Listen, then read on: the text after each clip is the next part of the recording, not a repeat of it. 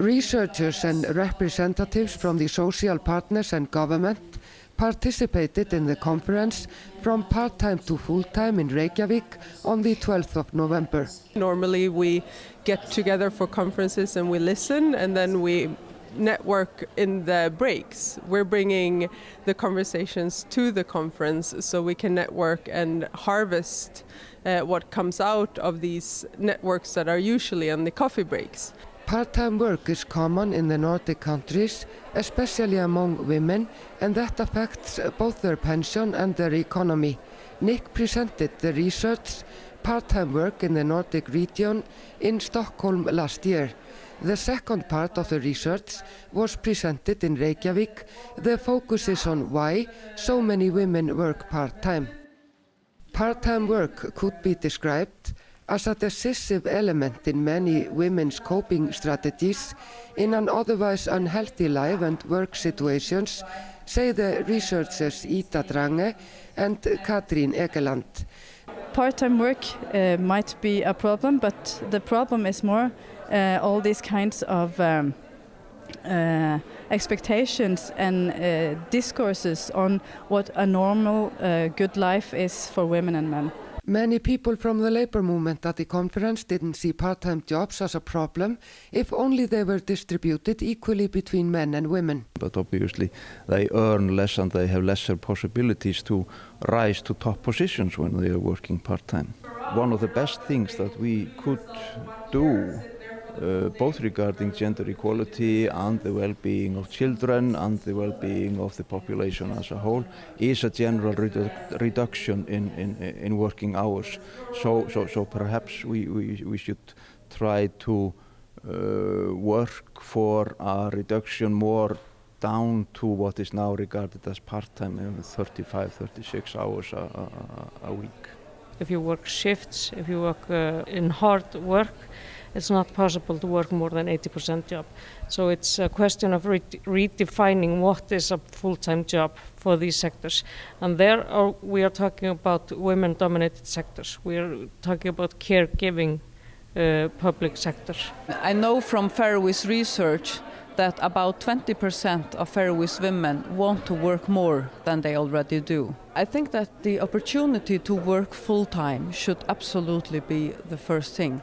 And uh, that means that the um, employers, especially in uh, the um, uh, social and, and healthcare section, they need to plan the work so it is possible to work full time and to make the shifts longer. They have actually shortened the shifts. Magnus Lindström has been participating in a work group in Sweden where trade unions and employers work together and try to create more full-time jobs for women. I think we have the same agenda, but we can't avoid that we are representing the employers and the trade union is uh, representing the employees. Of course, the trade union wants more regulations in the collective agreement that ensure everyone to have more hours. That's a great issue for the trade union. But uh,